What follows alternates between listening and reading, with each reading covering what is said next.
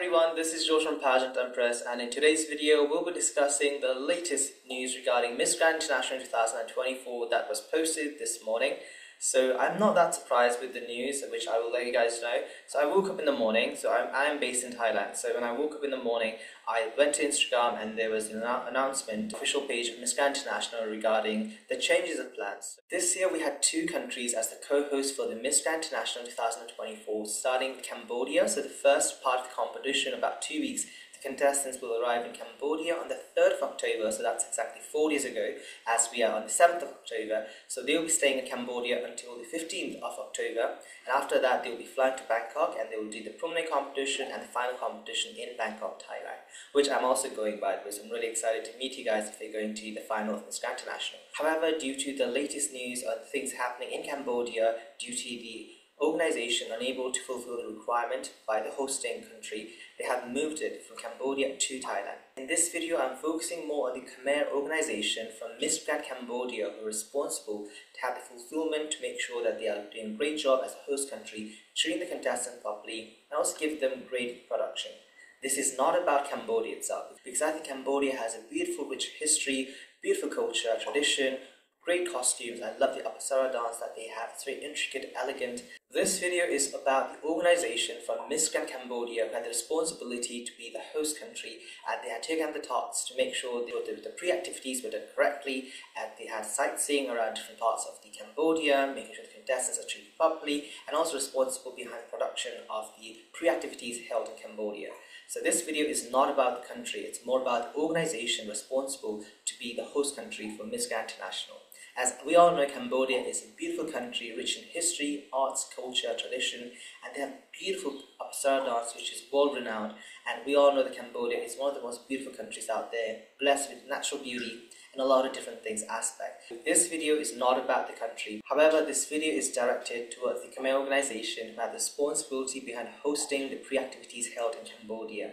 So please understand that. The first official day for Miss Grand International was in October 3rd, where a lot of contestants had already arrived the host country of Cambodia, where they were wearing beautiful costumes, where they own, of course, official sash by the National Pageant Organization from the respective countries. So it was a really fun activities. We got to know a lot of contestants. We were just having a really fun time getting to know each other, trying out foods in the host country. So it was a really good opportunity. The second day was the sashing ceremony where all the contestants got the official Miss Grand, the golden sash with the country's name on it.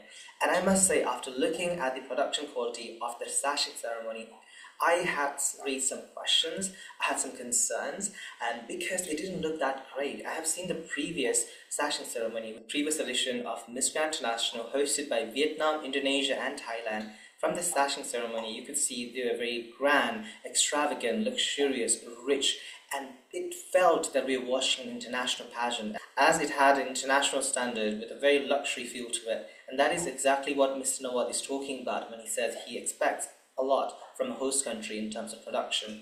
However, we didn't get to see that in Cambodia as the red carpet, it looked very poorly made, it was not well executed, the stage looked unfinished, camera angles looked quite blurry, it was not clear, it was not HD. I, as a YouTuber, my responsibility is to give you good quality production. And I feel that as a host country, especially as a host organization, you have the job to make sure that the people, especially the queens, are treated properly. They are queens for a reason. They have trained really hard for this moment. So when you go there and you see a very poorly made stage which only has red carpet that looks unfinished, it's poorly made, obviously the first impression is not great. And I think this is something that the Khmer organization for the Miss Grand Cambodia failed to recognize that the first impression really counts, as these girls don't know much about a country. So the first thing you show at the welcome dinner and the sashing ceremony was not that great. And we talk about Miss Grand International, they know exactly what they're doing in terms of production and entertainment, music, lights, camera, action. This was the first mistake done by the Miss Grand Cambodia organization. Number two was sightseeing around different parts of Cambodia, which I thought was pretty decent. They just showed the historical parts of Cambodia, talking about history, which I thought was pretty good, and I don't have any complaints about that. And the second era was last night's dinner cruise event, which I thought was, I was just traumatized. It was bombastically bad. I think they had very bad time management, especially the quality check from the management team of the Grand Cambodia organization. First of all, that is not a dinner cruise. I will show you the pictures. I will not even go there with my friends or my family to have a dinner cruise, which I have done that previously in Bangkok. And I've actually done a lot of boating and cruising especially going on a boat from mainland Thailand, like Pattaya, to go to the Koh Larn, which is a tiny island, and that boat was a lot better quality than what we saw. And I have also been to other cruises and a lot of boats in the southern part of Thailand, luxury cruise, which the contestants will have the opportunity to do that once they come to Thailand. And this pictures on the screen, the videos we saw yesterday, it left me traumatized. I was really shocked and disappointed by the Grand Cambodia organization being unable to fulfill the requirement, especially the safety and health hazards for the contestants. There was no life jacket on the boat. There were no barriers to make sure no contestant falls off the boat. And that is actually not a dinner cruise boat. That is not a luxury boat. As I'll show you on the screen, these are from Miss Grand International previously held in Vietnam. It's a good example of a luxury cruise where people can have dinner, just enjoy this moment, go out with their friends, their families, and enjoy the sightseeing of the beautiful host country. They had similar events, but they were able to manage to make it luxury, spectacular, elegant, and sophisticated. There were no issues regarding Indonesia or Vietnam hosting the pageant because they had the revenue, they had the sponsorship, they had the money, financial ability to really back it up. And this is something I really want people to know, especially before bidding for becoming a host country for any international pageant. As number one, you have the resources, and number two, you have the sponsorship. As we all know, pageantry is not cheap, and it costs a lot of money to make sure that it is a spectacular event. As the host country, you have the responsibility to make sure that you're investing a lot of financial abilities, especially money backing from the sponsors including the government. I felt really bad looking at the live stream. There were a lot of safety hazards, there were a lot of bad protocols. How is the Khmer organization expecting us to respect them or give them the credit when they're incapable of giving them good quality standards? There were no stairs, there was no lights to get from the mainland to the boat, from the dock. And that is so bad because what if some girl slips and falls into the water? There's a lot of safety hazards that were incapable of practicing they need to have quality check, management check. Everything needs to be up to the top tier, golden quality. If you're having an international pageant, you cannot just say, okay, we are there, we'll do the pageant, that's it. No, it doesn't work like that. Also, there were plastic chairs. Plastic chairs is so 1990s. I have seen that in maybe in my family's parties back like many, many years ago.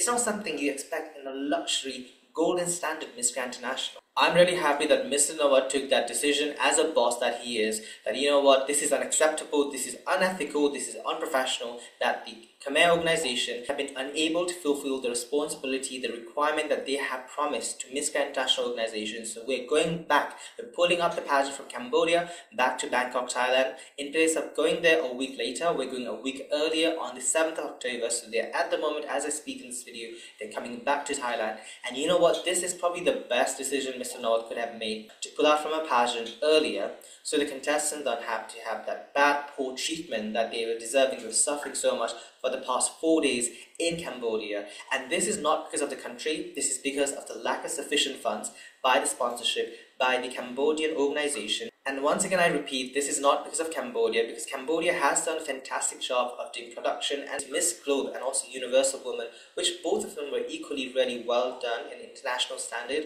So it's not because of Cambodia not being able to do that. It's because of the organization, the Khmer organization, who were not able to find enough sponsorship enough funds to really back it up the competition. So for me, I'm really happy that now the contestants are back in Thailand and they will really be able to enjoy the moment. As Thai culture is really rich, food is delicious, it's one of the best food out there. The contestant will truly be able to enjoy every single moment of this experience. Meeting the contestant a lot earlier than I expected. I don't live in Bangkok, but I'll be traveling really soon to see the contestants. I'm really excited to meet Malaysia, Indonesia, Supernova, of course, a lot of the other contestants like Spain, India, Rachel Gupta. There's so many other contestants. I'm really eager to be waiting to meet them in person.